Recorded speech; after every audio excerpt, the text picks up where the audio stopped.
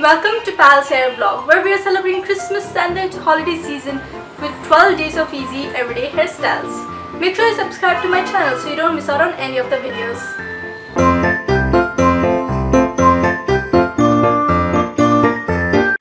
Hey guys, today is day 7 of 12 days of easy everyday hairstyles and I'm gonna show you how to do the topsy tail braided bun.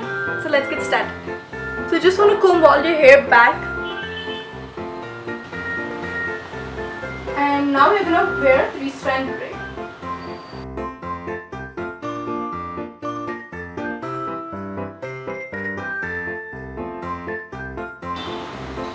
Once you have your 3 strand braid, just pull on the edges to make it more looser and bigger.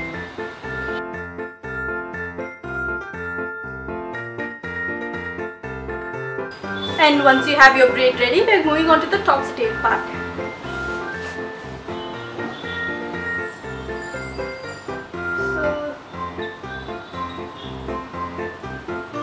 just make a hole in your braid at the top and flip your braid through it.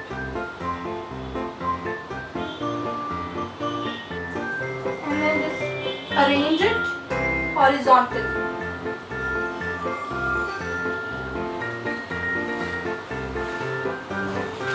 And then we are going to use bobby pins and hair pins to tuck it in place.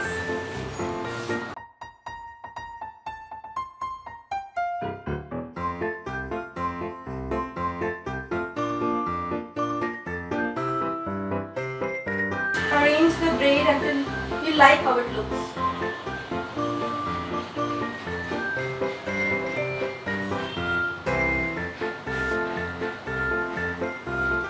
And now for the final look.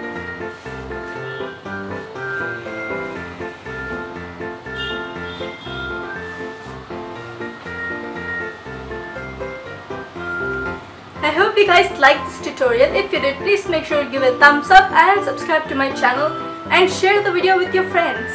If you'd like to see the other videos in this series, click on the link above. Thank you for watching. Have a great day. Bye.